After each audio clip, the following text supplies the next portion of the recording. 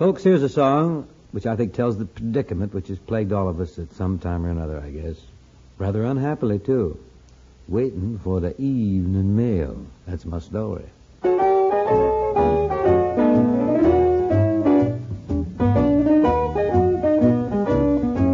I'm sitting on the inside, looking at the outside, waiting for the evening mail.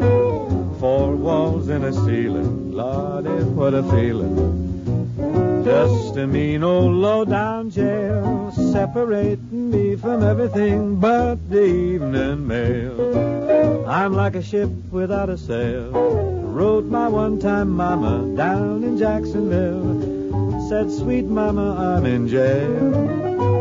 Now, honey, please don't fail me.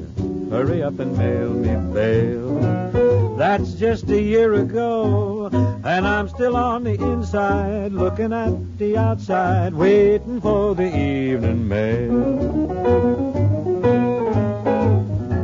I had a letter handed to me uh, just yesterday from a chick I used to kick around with down on Mobile Bay.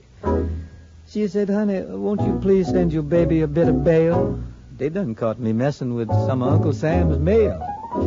I had another letter, too, from a big old boy named Stout. Said he's going to get me. He's going to fix me, too, when I got out. Said he's going to meet me right here at the front gate. but, man, man, he don't know how long he's going to have to wait.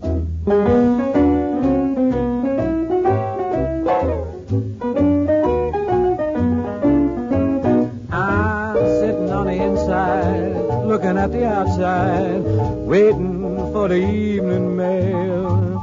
Four walls and a ceiling. What a feeling. Just a mean old low-down jail, separating me from everything but the evening mail. I'm like a ship without a sail.